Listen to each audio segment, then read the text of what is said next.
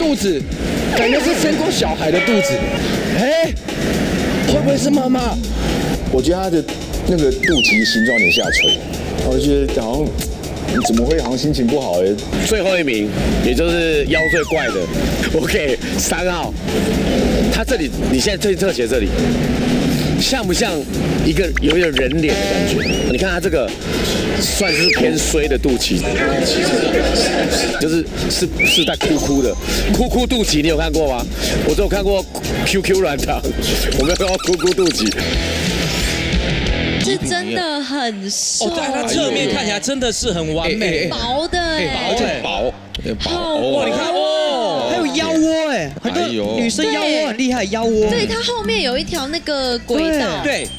哇，这可以玩同米卡小车车的那种。哦哦哦，腰窝有没有？对，腰窝很漂亮，超很难练，好像会微笑一样。而且男生看这种会不会觉得太瘦？老实说，我觉得我个人觉得有点略瘦。对，因为希望有点微露才有感觉。像 Spider Man 就蛮 OK 的。他腰的感觉就是必须要好端的。啊，对，对对对对对。什么意思？那个好端端的腰，对，有个有个端倪啊，好端端的。要端端来端来来，七号七号来介绍你的腰。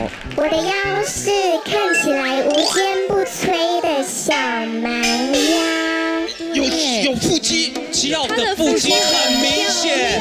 哦，有腹肌的，我怀疑七号是潘若迪老师，不可能啦。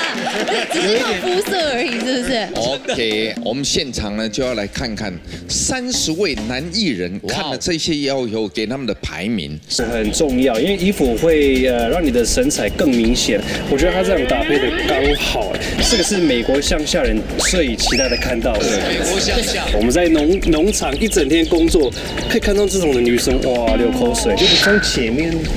的照片来看的话，他就是一个很喜欢运动的人，线条。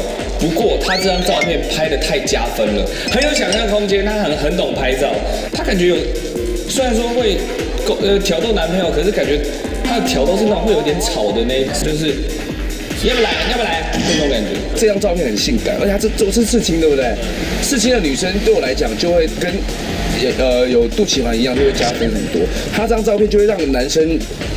会有一些呃美好的遐想，我觉得他的提词率应该是最刚好的。第一名的啊，第一名会是谁呢？剩下三号、五号、六号，The champion goes to 六号。哎呦，一起来欢迎六号出场。谁谁谁？